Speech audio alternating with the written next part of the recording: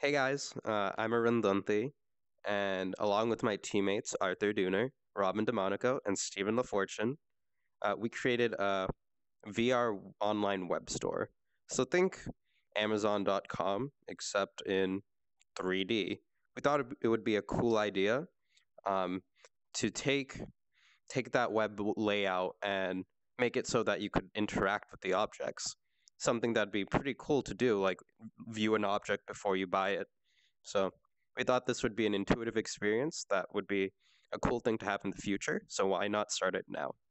So I'm going to give you a brief demo of how our web store works at the moment.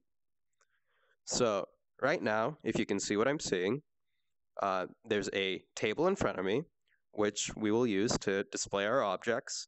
And there's this category menu, like in a normal online web store. Um, so right now we're at the top, top level of categories. So as you can see, our top level categories are objects, boxes, and cylinders in this case. So I'm going to go into the boxes subcategory. I mean the objects subcategory. Cool, so I went in the subcategory. If I wanted to, I could click on this up arrow, which I will, which is going up a category, and I'm back to this menu. I'm going to go back into objects. So now I have my subcategories of heroes and other. Heroes misspelled. Sorry about that. Bug fix later.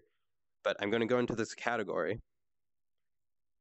And heroes, as you can see, has come up here. And that is a bottom level category.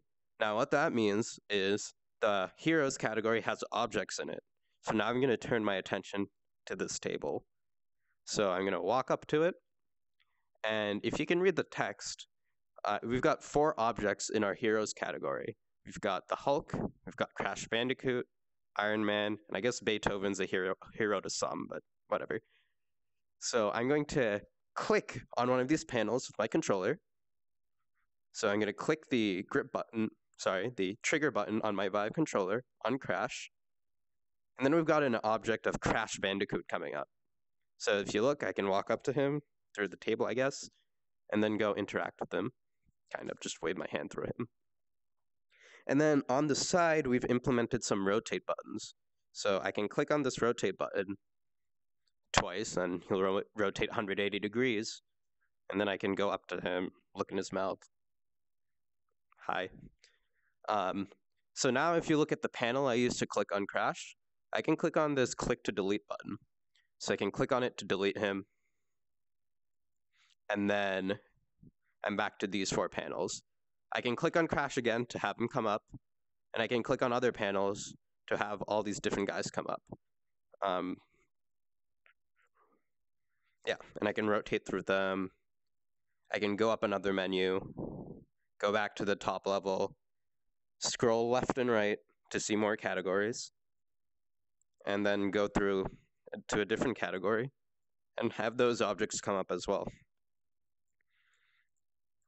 So that's our basic implementation. Um, as you can see, we've also implemented a VR clock, which actually tells the time.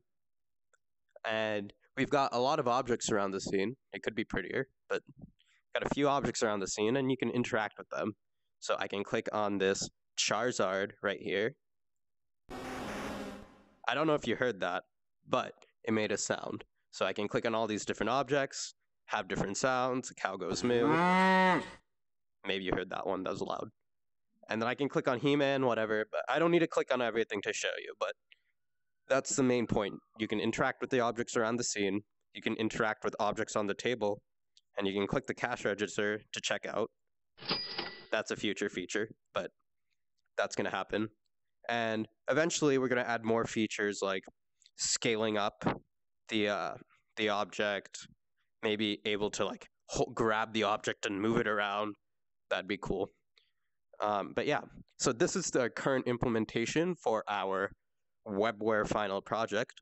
But some of us are going to work on it in the future, and we're going to have fun with it. So thanks for watching.